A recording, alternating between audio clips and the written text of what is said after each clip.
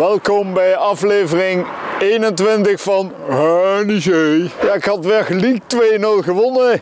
Klasse jongens. Die Breinburg liep naar de eerste naar de Fox-camera. En die kuste hem en zei, dit is voor jou, I love you. Zou die daar nou mee de trainer bedoelen of zijn vriendin? Joris Driepunter Dalle, onze keeper, die is echt goed. Hè?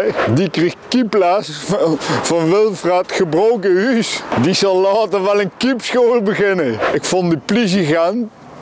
En toen de graaf die scheidsrechter wel lekker fluiten. Dat waren gewoon twee overtredingen. Dan kun je een bon vergeven of een penalty vergeven. Die kerel eh, met die beurt zondag bij Studio Sport, dat was klasse jongen, rood-groen. Alleen mis ik het zwet nog, maar ja, Roda heeft een nieuwe geldschieter.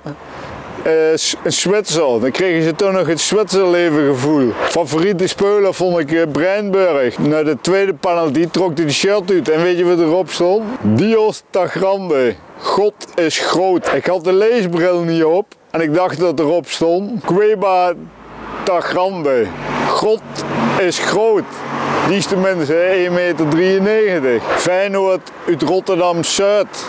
Die willen kampioen worden, voor mij mag het. Jullie willen de koolsingel, wij de oranje singel of de nieuwe meld. Oh ja, ik bedoel de grote meld. Ja, we willen toch van jullie winnen.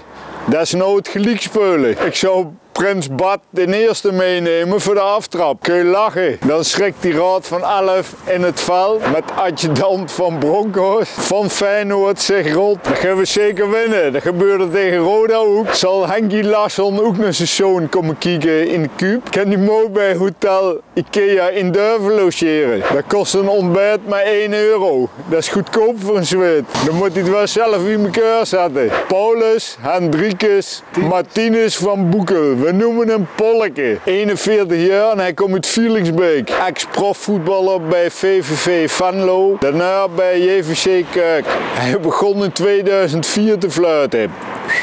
Ik hoop dat hij zijn eigen niet gek laat maken daar in die badkuip eh, in Rotterdam. Volke, laat er geen gras over groeien. Hè? Jij bent de baas, jongen. Ik voorspel, en je hoort het goed, 1-2 voor onze jongens. En je weet dat ik het vaak raai. Hoi, de volgende keer!